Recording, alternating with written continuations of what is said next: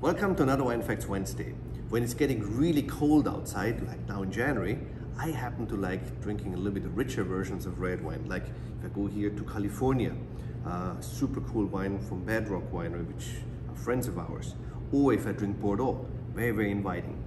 Or then also another thing is I like to have wines also with a little bit of age, you know, where it's not only about the primary fruit, but it gets then also with layer more aged components to it, more, you know, spices, more herbs, also a little bit more tobacco. Or going to Piedmont, wines from Piedmont, that this is the time of year to drink.